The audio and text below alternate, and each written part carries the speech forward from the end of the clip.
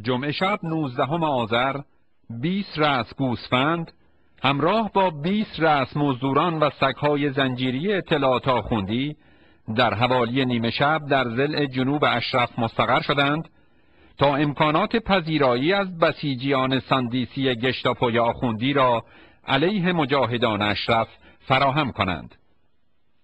دیگها و قابلمه های غذا در محل چیده شد و گوسفندان زب شدند و کیسه های برنج هم سر رسید.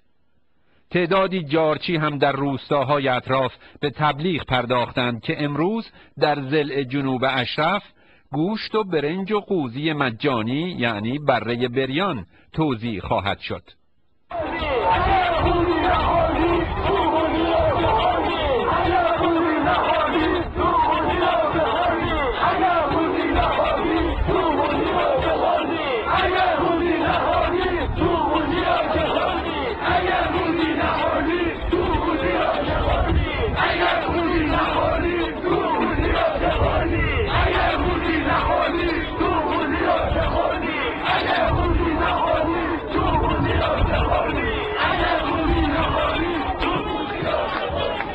از صبح روز شنبه گردان سرکوب اشرف با زره پوش اطراف اشرف را محاصره کرد تا مجاهدین هیچ گونه امکان تحرکی نداشته باشند.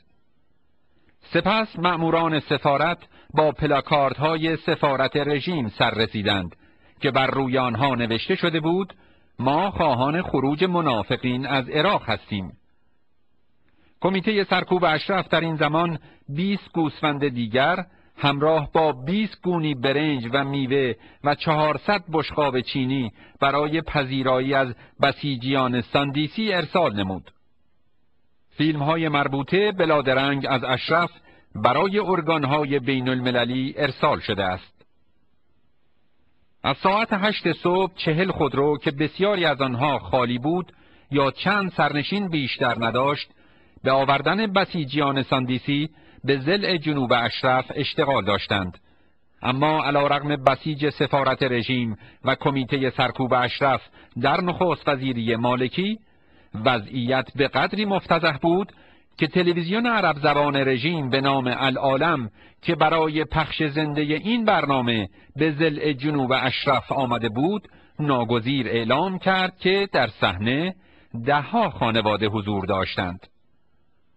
آنگاه بسیجیان منفور چندین بار با سنگ و کلوخ مجاهدان اشرف را مورد تعرض قرار دادند. در اثر اصابت سنگ پنج تن از مجاهدان اشرف زخمهای سطحی برداشتند.